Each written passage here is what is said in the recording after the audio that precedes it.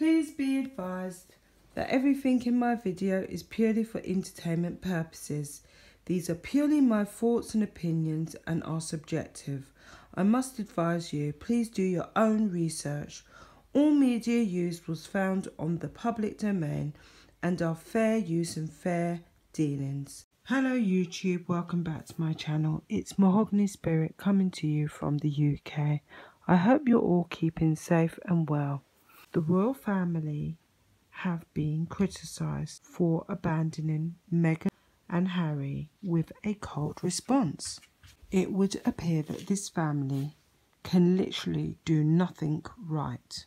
The royal family botched an attempt to repair their relationship with Meghan Markle and Prince Harry, according to Russell Myers, the royal editor of the Daily Mail. Mr. Myers labelled the cold response from Buckingham Palace as a huge mistake and a missed opportunity. He suggested the failure to stand by Meghan and praise her for her open letter suggests how big those cracks are in their relationship.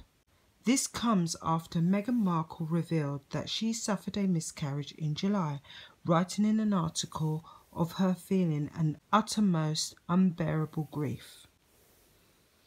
Buckingham Palace's only comment on the sad news was a short statement that said it was a deeply personal matter we could not comment on.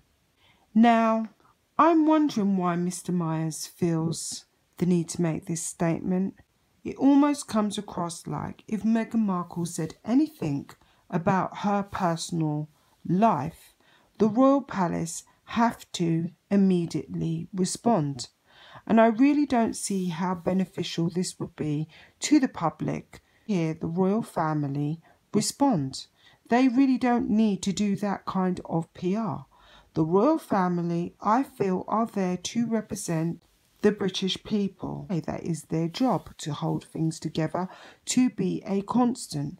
They're not there to comment on personal matters of members of the royal family at every twist and turn. And I really think this is short sighted of Mr. Myers to make this statement personally. You see, Meghan Markle and Harry did step down from public life and from being working members of the royal family to pursue a private life. A private life, so therefore, anything they reveal about themselves with regards to their personal lives are down to them. It's not for anyone else to comment on. I think every woman fully understands that, especially women that have experienced and suffered a miscarriage. It's really a personal issue whether you want to make it public or you want to keep it private. Not everyone wants to have that conversation. And some people do doubt Meghan and how genuine or sincere this statement is because she has just hired a new PR company to work their magic on her. We all know that her popularity at this point is practically in the toilet. But strangely, and what I find very, very peculiar is as she herself has sent Thanksgiving wishes to the American people, she has not revealed a picture of herself, her husband, and her baby. Them as a family unit. The British people haven't seen that, nor have the Americans. So she's still cherry picking what she chooses to reveal, just as she cherry picked not revealing the godparents to baby Archie the time that Archie was born and did say she was not going to stand publicly on the steps and allow the media to take pictures of Archie. She felt that that was all private and has continued to act like that. So the royal family are not always in the loops as to what Meghan feels or doesn't feel. So this is very short sighted of Myers to make the statement that they missed an opportunity. I don't think they did. It serves no benefit to anybody to continually talk about Miss Markle and her miscarriage because we don't know whether she factually had one or not. Or she talks about her husband being with her in that hospital. This is in the height of COVID. We know that in July she did move to Santa Barbara. We know that she made several speeches. She talked about voting, she talked about Black Lives Matters, and she made a speech to her old high school. So Meghan Markle really does cherry pick what she wants to reveal. And she does this often. So she is judged based upon her actions by the public. I really do feel that the royal family have been very supportive towards Meghan and Harry.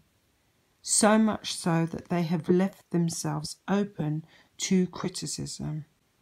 Because I personally feel that Meghan and Harry should have been cut off way back in June because they decided to leave for a private life, which they have not done.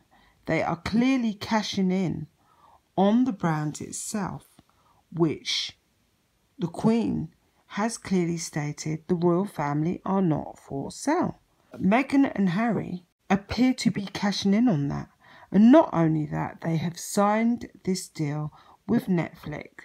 And I feel that that deal is really inappropriate given the way it has depicted Diana and Charles's relationship.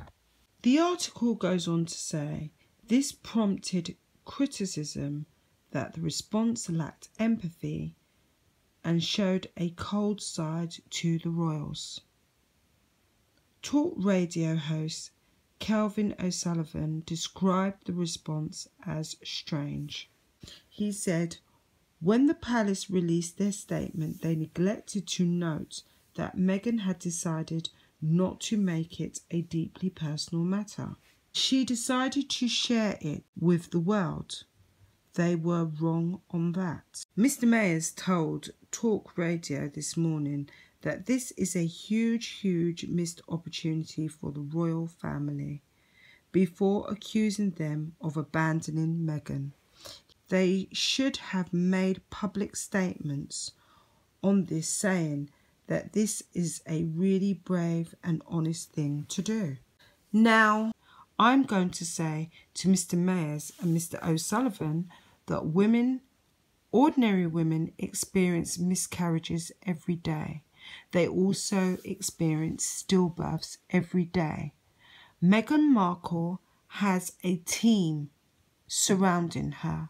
She is living in an extremely luxury mansion in Santa Barbara. She's not isolated in a village far, far away where she can't seek any help or does not have the financial means to get hmm. support. Meghan Markle is in the 1%, and therefore she should be treated as such. As I've stated before, miscarriage coming from any background is devastating to the woman who experiences it. Meghan Markle is surrounded by support and therefore has absolutely nothing to gain from the royal family making any kind of statement at all. I would even go as far as to say Meghan Markle putting the statement out in itself to benefit her than it was about those that were consuming that information. Myers goes on to say it would have potentially amended some of the cracks in the relationship that we have been talking about for months and months now, that are obviously there and still very raw. I thought the response was very stuffy, to be honest. This was a massive missed opportunity. I think that Meghan has caused so many conversations over this past year. And when you really think about it, she hasn't really been a member of the royal family for that long and the amount of attention that she's taken up. She went to South Africa, she spoke about herself. With the backdrop of women that had experienced rape, those not having any food, you know, women that had experienced miscarriages, all of that. And she stood there and spoke about herself. And in her open letter, she still talks about the question Are you all right?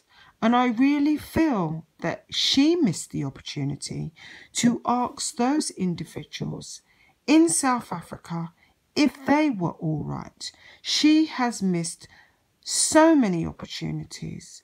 You see, she wants everybody to focus on her.